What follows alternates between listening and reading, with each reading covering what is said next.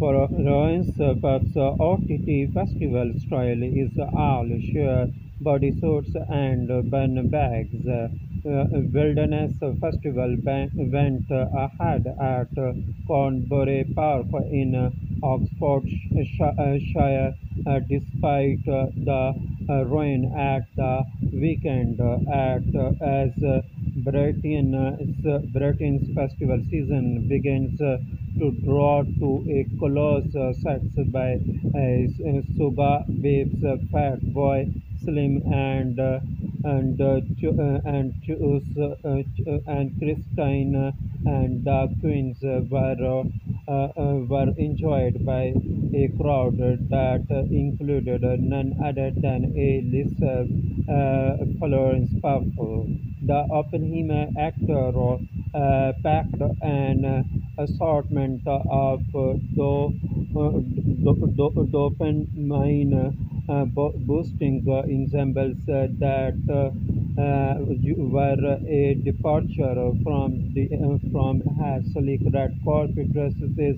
Florence Puff documented her maximalist uh, festival style in a carousel of uh, snaps uh, shared on Instagram. In one image, she rocks a neon green bodysuit layered over a hot pink bikini set, complemented by pink bikini set, complemented by pink feather trimmed cowboy hat and blue fuzzy rimmed shirts.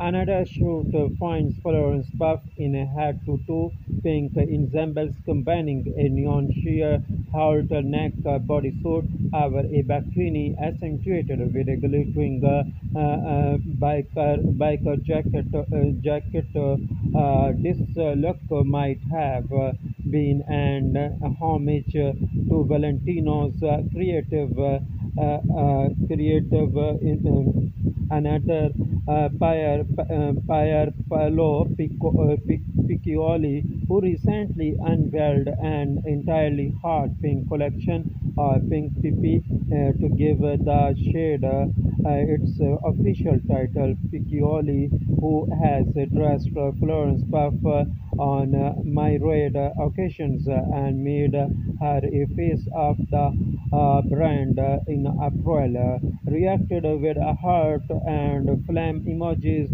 in the caption in the comment section. Uh, uh, elsewhere, the actor opted for a polka dotted pink jacket paired with a leopard print uh, fe- fedora hat uh, adorned with feathers and matching square from leopard rimmed uh, shades. Uh, uh, uh, it is a, long way from the OFT replicated festival uniform um, established by Cat Mouse in the 90s and looks all the more fun as a result or as Florence Puff put it stupidly gorgeous. Thank you for watching Showbiz International News.